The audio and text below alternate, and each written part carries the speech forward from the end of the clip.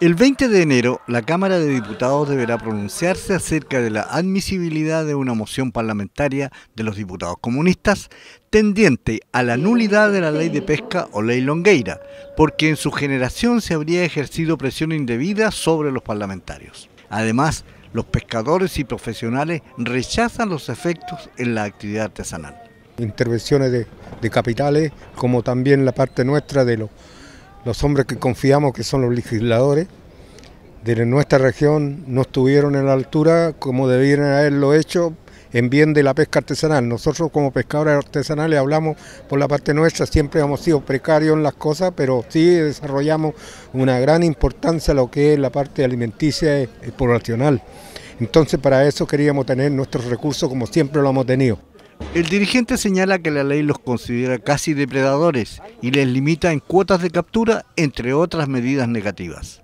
La ley le entrega eh, bajo licencia renovable los derechos de pesca de la gran cantidad de especies, de las 18, de 21 pesquerías que hay en Chile, 18 se le entrega a la industria. Segundo, eh, la cuota, en ese sentido, la cuota artesanal versus la cuota industrial es absolutamente desmedida. Hay tasas, por ejemplo, de, la anchoveta que la pesca industrial tiene el 98% de lo que es el derecho de pesca, de la cuota, versus un 2% de la pesca artesanal, lo que le pone eh, limitantes al desarrollo de la pesca artesanal. El profesional señala que la ley no establece políticas públicas que apunten al desarrollo del sector.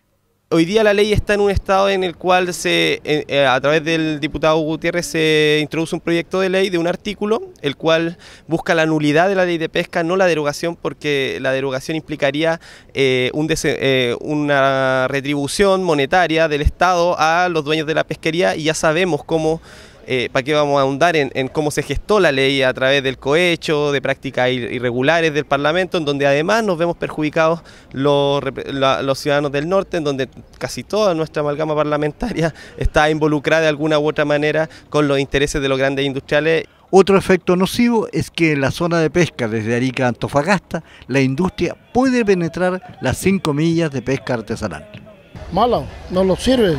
Al menos a nosotros los pescadores acá para el norte no nos sirve porque restringe muchas cosas, todo, va a ser restringido para nosotros.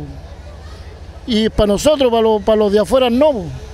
Para los españoles que están para el lado sur, ellos pescan todo el año y nadie les dice nada. A la ley de pesca nos afecta a nosotros por la sencilla razón por las millas, las especies, las especies que están pillando limita mucho. Claro, porque son las especies están muy chiquitas, la, la anchoa, el jurel lo están pillando muy chicos.